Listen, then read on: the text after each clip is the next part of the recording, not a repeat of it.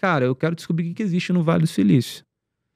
Minha cabeça já estava nos Estados Unidos desde 2017. Você sempre quis, né? Sempre quis, porque eu, eu estudei lá, eu fiz o high school, né? Um dos maiores investimentos que o meu pai fez para mim foi me mandar estudar fora. Eu tinha 17 anos, eu fiz ensino médio. É, as pessoas acham que falar outras línguas não é importante.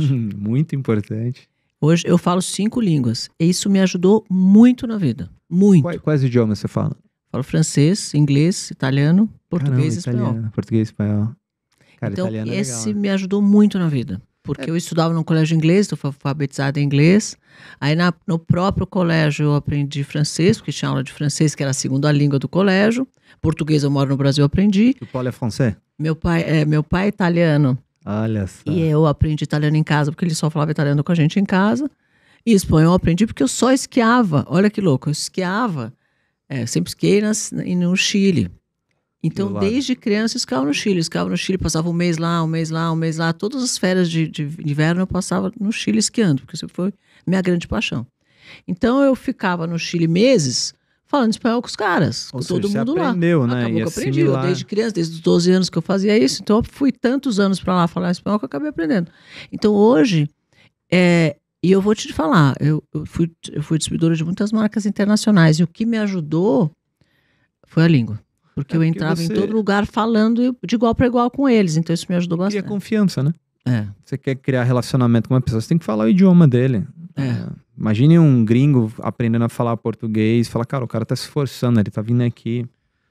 É, é isso, né? E, e é- realmente abre portas. Abre muita porta. É, eu estudei francês também, fiz dois anos de aliança, porque eu morei no Canadá, né, também. Ah, Eu legal. fiquei, eu fiquei rodando um bom tempo para saber o que, que eu queria fazer na minha vida, né? Então, isso foi uma, uma parte boa.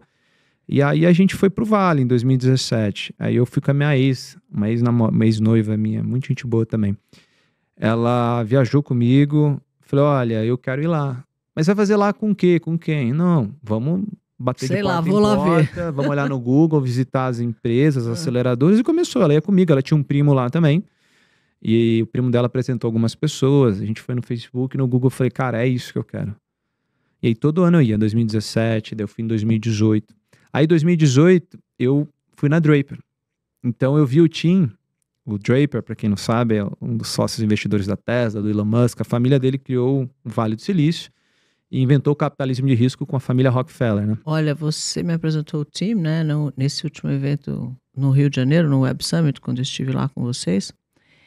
Eu conheço muita gente, porque assim, eu distribuí muitas marcas, eu tinha 28 marcas, conheci todos os donos dessas marcas, etc e tal.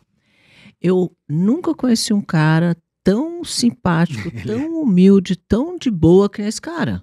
Uma figura, né? Gente, uma figura, mas ele é uma figura divertida, engraçada É, e tal, mas o que mais me marcou dele é a humildade dele. É. E uma energia muito boa, né? Você percebeu? Eu lembro que a gente entrou no avião dele, que era aquele avião, né? Gigante, né? Gigante. Quase um Boeing aqui. É, viu? quase um boi. Então, entramos no avião dele, acho que sentou todo mundo, daqui a pouco ele levanta, pega a bandejinha Começa a servir o e queijo começa a servir gente. todo mundo, né? Foi loucura. Eu lembrei daquilo. Eu falei, como assim tá errado isso, né? Tipo, ele, e- não é, É. impress- assim, é, porque, e ele faz isso naturalmente. é, servir, né? Ele é um cara servir. Muito. Fora da casinha.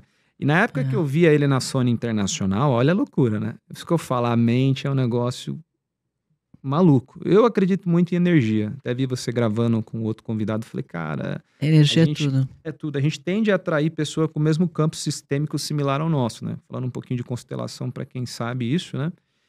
E eu fui para lá, aí que começou toda a minha jornada, né? E o grande poder de você saber escutar é você entender a necessidade do outro. Então eu fui, vi ele no reality show, falei, cara, eu vou lá atrás. Mandei um e-mail, me receberam como se eu fosse ser um aluno. Aí teve uma pessoa, a Maria, me levou para conhecer a estrutura. Eu falei, cara, um dia eu vou estudar aqui. E fiquei com isso na cabeça. Dela me falou: olha, a gente está expandindo para o mundo inteiro. A Draper, o fundo, etc, etc. Eu falei: ah, é? Sério mesmo? Ó, tem um evento no Brasil, lá em Campo Grande. É.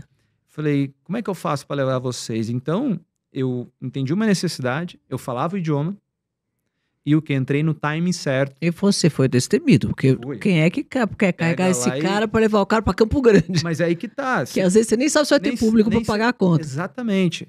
Mas aí que tá, a gente.